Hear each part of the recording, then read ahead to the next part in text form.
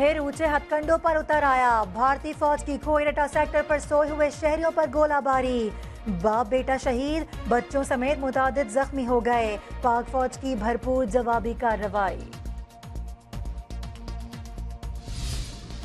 भारतीय प्रोपेगेंडा बेबुनियाद जासूस का मुकदमा फौजी अदालतों में ही चलता है। कलभूषण दहशत गर्दी का एतराफ कर चुका, जो आलमी माहों के तहत किसी रियायत का मुस्तक नहीं। पाकिस्तान ने आलमी अदालत इंसाफ के लिए जवाब तैयार कर लिया।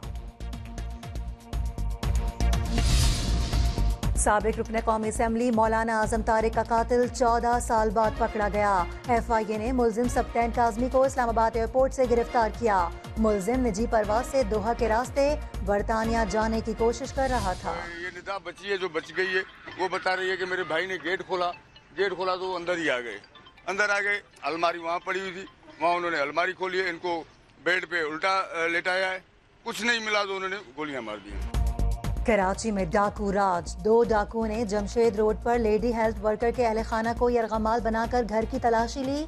कुछ ना मिला तो सबको लाइन में खड़ा कर कर गोलियाँ मार दी।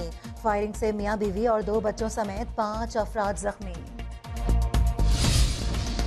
शाहराह पाकिस्तान वाटर पंप के करीब खुश्क मेवाजात की दुकान में लूट मार मुलजिमान ने सिर्फ़ 60 सेकंड्स लूट मार की। नकदी और मोबाइल फोन्स लूट कर फरार हो गए। सीसीटीवी फुटेज समा ने हासिल कर ली।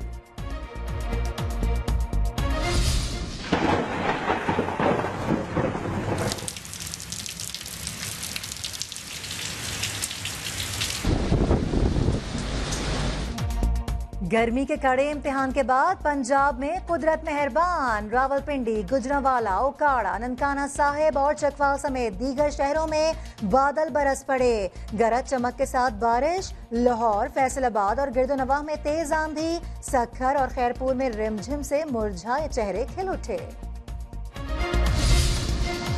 और नवाज़ शरीफ आज चेचावतनी में जलसायाम से खिताब करेंगे। सिक्योरिटी के सख्त इंतज़ाम जिला चेयरमैन के मुताबिक बड़े पैकेज का ऐलान मुतवक़ गुजश्ता रात तेज आंधी ने सब कुछ उखाड़ फेंका।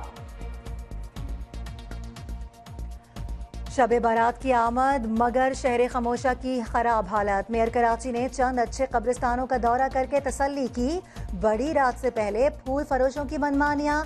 गुलाब की कीमतों में महँगाई के कांटे उगा दिए गए। महँगे होंगे, चार सौ पाँच सौ रुपये चल रहे होंगे कल तो। अभी एक दिन पहले लेकर जाकर रख देंगे, ताकि अपने प्यारों के कपड़ों में डाल लेंगे परफेक्ट से भी परफेक्ट निखार, कैसे मिलेगा, जानना चाहोगी?